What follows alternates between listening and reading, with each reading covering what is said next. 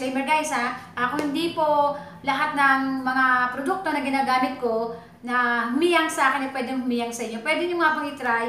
Kaya lang, ah, konting ingat kasi kung feeling nyo hindi hiyang sa inyo o nangate ang balat nyo, may ibang nagbago sa balat nyo, namula, namantal, kung ano pang meron nangyari sa balat nyo, ah, wag nyo nang ituloy. Mas maganda na i-stop nyo na yung isang product na ginagamit nyo. Kung feeling nyo ah, may nabago sa balat nyo, mas maganda yung nasa safe zone pa rin tayo.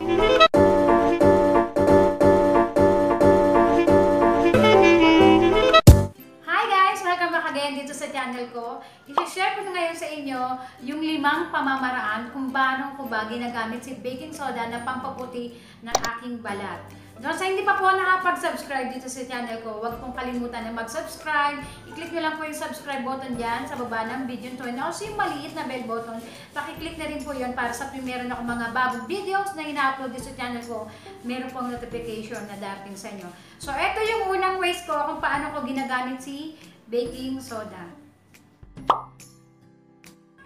Maglagay lang ng konting baking soda sa toothbrush na may toothpaste tapos i-brush lang sa ngipin nyo.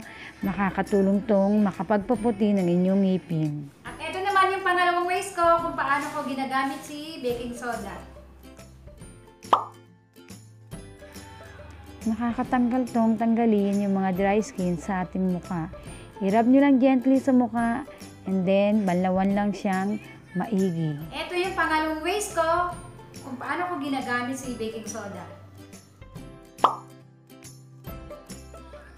Ilagay lang sa kamay ang baking soda na may honey at lemon juice para maging maputi at makinis ang ating kamay at the same time matatanggal yung mga itim-itim sa ating kamay.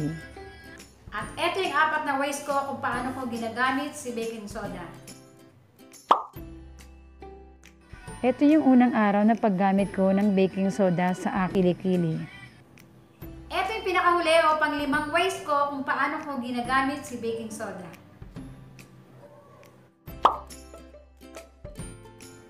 Nakakatanggal to ng bad odor sa ating kilikili. Okay guys, yan yung limang pamamaraan ko kung paano ko ginagamit si baking soda sa aking pang-araw-araw na pamumuhay at bilang pagpapaputi na rin sa aking balat at sa aking ngipin. So sana guys, nagkaroon kayo ng konting idea kung paano ba ginagamit si baking soda at sana kung nakatulong sa akin, sana nakatulong din sa inyo. Pwede niyo pong itry yung mga limang uh, ways ko kung paano ko ginagamit si baking soda. Pero kung feeling nyo, disclaimer guys ha, ako hindi po lahat ng mga produkto na ginagamit ko na humiyang sa akin ay pwedeng humiyang sa inyo. Pwede nyo nga pong itry.